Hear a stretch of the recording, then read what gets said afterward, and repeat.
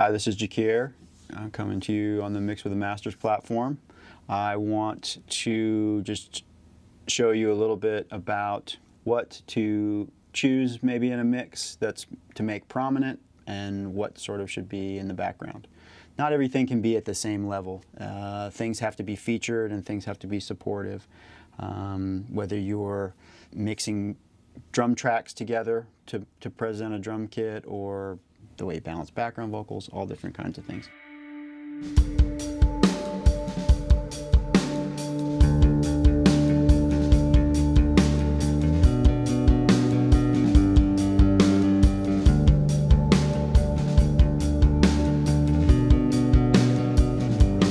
And this is what I want to talk about, these vocals.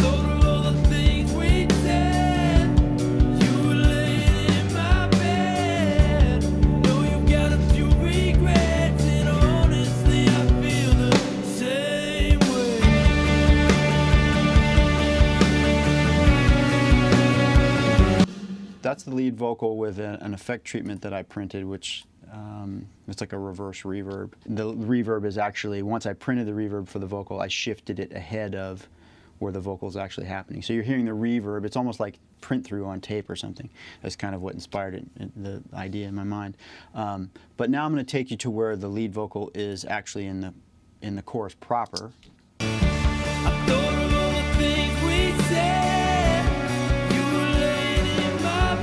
Much louder. It's, it's, sort of where you'd expect a lead vocal to be, uh, volume-wise. Um, but I wanted the chorus up, up, at the beginning of the song, the music, and then to be able to get to this. The, the guitar riff and the turnaround. But I made the choice to balance the vocals really low, so it's still it doesn't really feel like that the singer is necessarily started the story of the song. It's just kind of trying to create part of the vibe.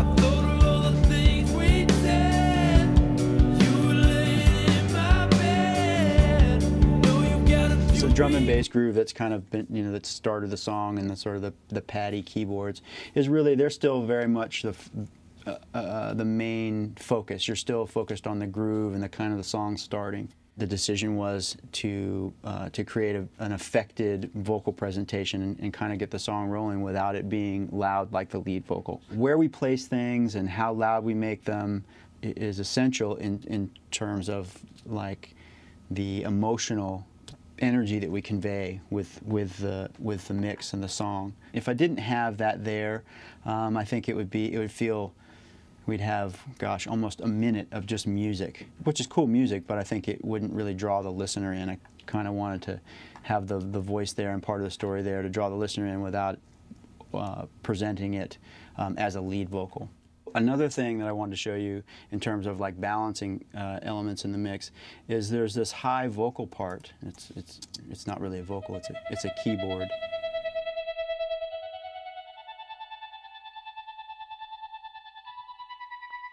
And there's also this Vox synth.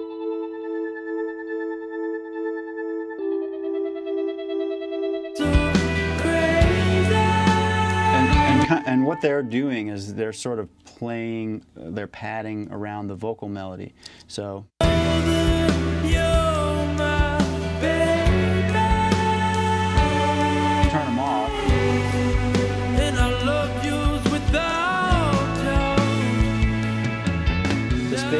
Space, around the vocal doesn't feel as as big and, and as supported. And they're not really primary parts.